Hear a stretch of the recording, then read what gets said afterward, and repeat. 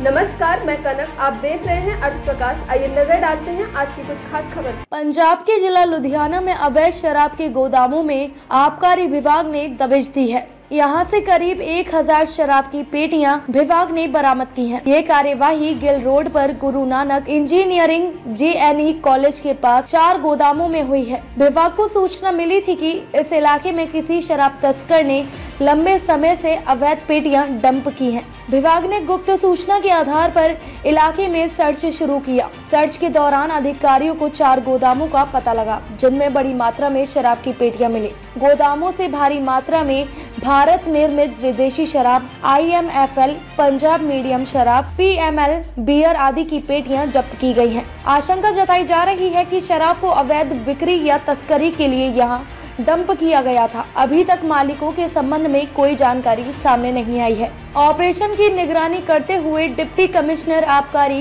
परमजीत सिंह ने कहा कि फ़िलहाल मामला दर्ज किया जा रहा है। विभाग मामले की आगे की जाँच करेगा। उन्होंने कहा कि राज्य सरकार ने राज्य में शराब की अवैध बिक्री और तस्करी के लिए ज़ीरो टॉलरेंस की नीति अपनाई है और विभाग द्वारा नियमित निरीक्षण छापेमारी की जा रही है। ताज़ा अपडेट्स व बड़ी खबरों के लिए सब्सक्राइब करें आज प्रकाश टीवी और बेल आइकन दबाना